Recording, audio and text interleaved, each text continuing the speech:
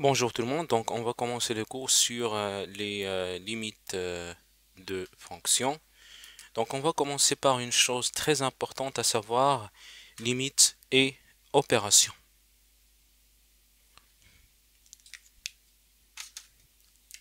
Donc limite et opération. Donc on va considérer deux fonctions à variable réelle. Donc soit f et g de fonctions à variable réelle.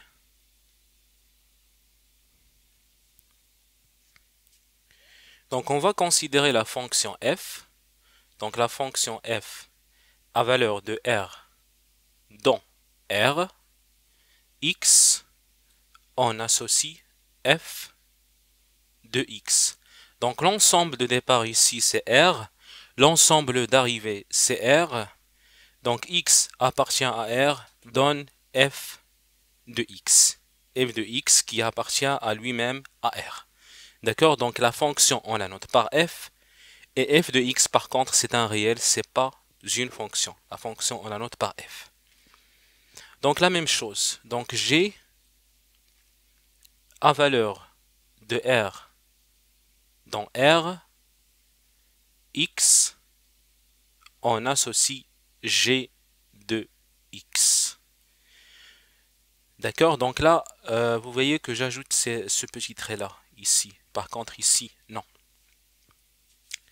Alors, donc on va, donc concernant euh, limite et opération, donc je vais considérer que par exemple que la limite de la fonction de f égale par exemple un certain L, un certain L qui appartient, euh, bon, ça peut être euh, fini comme ça peut être infini. Donc, soit la limite de f égale par exemple un certain L qui appartient à R et la limite de g de x égale par exemple à un certain L' qui aussi appartient à R. D'accord? Donc, Maintenant, on va commencer par limite de la somme de deux fonctions. Donc, limite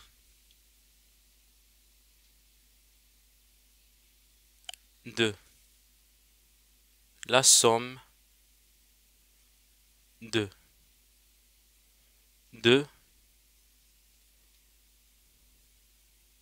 fonctions. Donc, on va considérer donc la limite donc je vais écrire ici limite de f.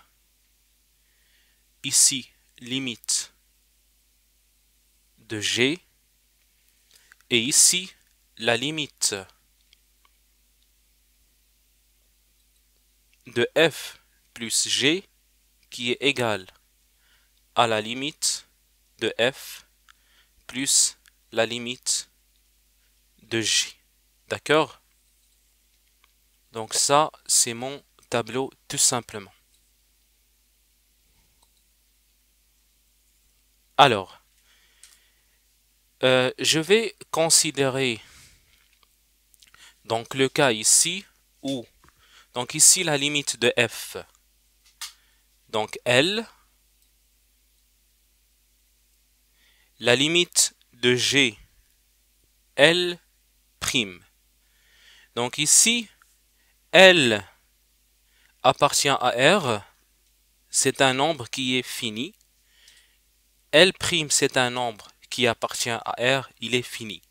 Donc si je fais la limite de f plus g, je trouve que c'est la limite de f plus la limite de g, c'est-à-dire que c'est tout simplement L plus L'. D'accord?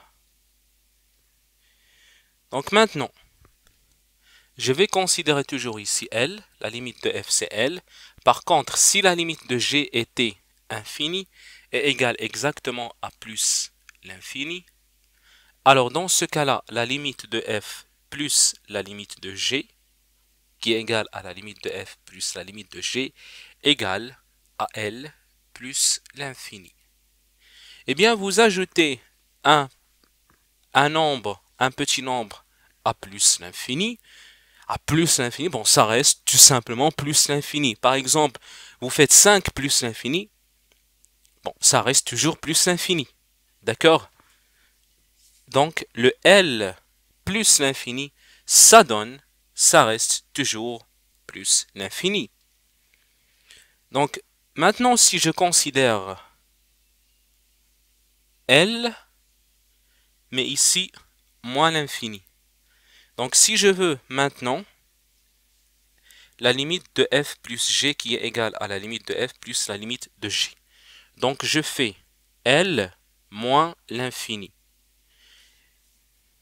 Donc L moins l'infini, c'est comme si j'avais le fait de faire L moins l'infini égale à L plus moins l'infini. L, c'est un nombre qui est fini. Je prends L, je lui ajoute, donc, j'ajoute, j'ajoute à moins l'infini L. Bon, ça n'influe pas ce moins l'infini, c'est moins l'infini, bon, c'est indéfini. Donc ça reste toujours moins l'infini.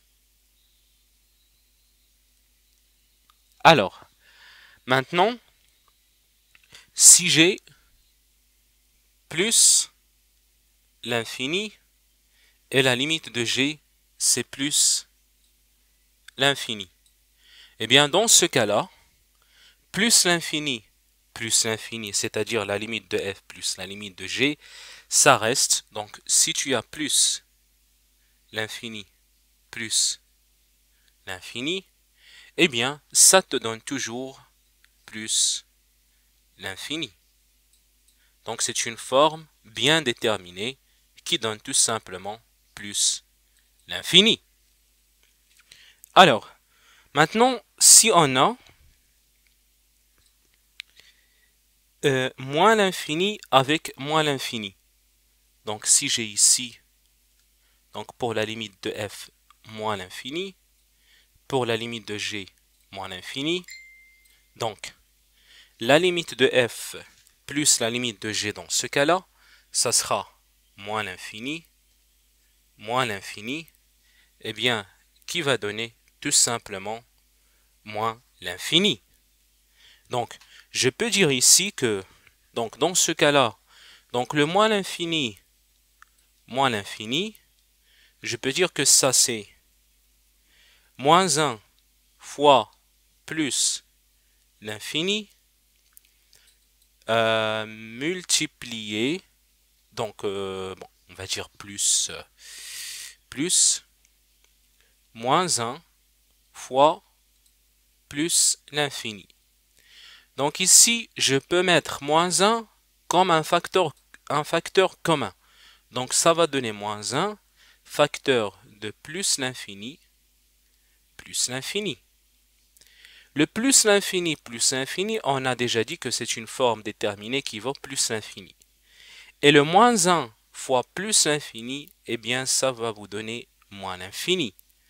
Donc, moins l'infini, moins l'infini, ça vous donne moins l'infini. D'accord? Donc, c'est une forme bien déterminée. Donc, ça nous donne moins l'infini. Donc, maintenant, si j'ai... Par contre, là, ça va devenir indéterminé. Si j'ai plus l'infini, et ici moins l'infini, donc si je veux la limite de f plus la limite de g, eh bien dans ce cas-là, ça sera donc c'est plus l'infini moins l'infini. Eh bien, imaginez, donc si je considère la droite réelle, donc ça c'est le centre, donc de ce côté, j'ai moins l'infini, moins l'infini, et de ce côté-là, j'ai plus l'infini.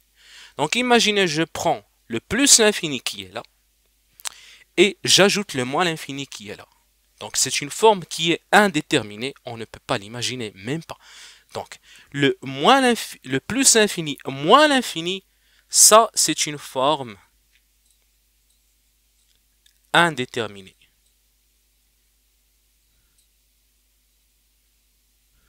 D'accord? Donc l'une des formes indéterminées, par exemple, ça c'est une forme indéterminée à savoir et à comprendre, bien sûr, de façon intuitive. Vous avez moins l'infini, avec plus l'infini, vous faites la somme. Bah, on ne peut pas l'imaginer, c'est une forme indéterminée. D'accord? Donc après, on va voir la limite du produit de deux fonctions.